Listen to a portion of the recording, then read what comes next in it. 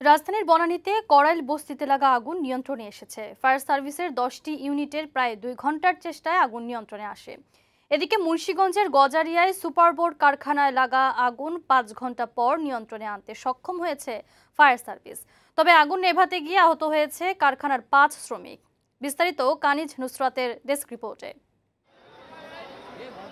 রাজধানীর বনানীতে করাইল বস্তিতে রোববার বিকেলে অগ্নিকাণ্ডের ঘটনা ঘটে। রোববার বিকেল চারটার দিকে আগুনের সূত্রপাত, পরে তা আশপাশে ছড়িয়ে পড়ে। বিকেল সাড়ে পাঁচটার দিকে আগুন নিয়ন্ত্রণে আনা সম্ভব হয়। নেভানোর কাজে ফায়ার সার্ভিসের পাশাপাশি অংশ নেয় র্যাব ও পুলিশ সদস্যরা।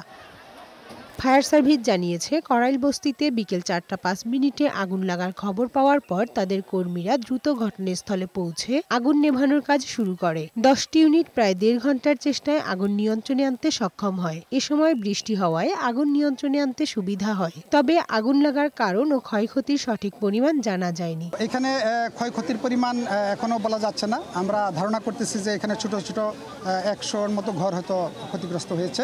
এবং আপনারা দেখেছেন চারদিকেই বস্তি তো মাঝখানে অল্প ক্ষতি হয়েছে বাকিটা আমরা নিয়ন্ত্রণ করতে সক্ষম হয়েছি। স্থানীয়রা জানান আগুনের শতাধিক দোকান ও ঘর পুড়ে গেছে। ঘরহারা হয়েছেন অনেকে। এ, আমি কাপড়টা ছাড়া কিছু বেকার আনা নাই। আমি কি করব? জীবনের যা আসিল খামাই সব শেষ।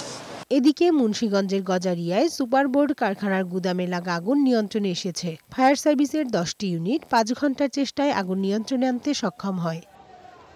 তবে আগুন নেভাতে গিয়ে আহত হয়েছে ওই কারখানার পাঁচজন শ্রমিক। গুদামটিতে আগুন লাগার কারণ এখনও জানা যায়নি। সেখানে পাটখড়ি, ফিনিশ বোর্ড, প্লাইউড ও প্লাস্টিকের দরজার মতো পণ্য ছিল। ডেস্ক রিপোর্ট, বৈশাখী সংবাদ।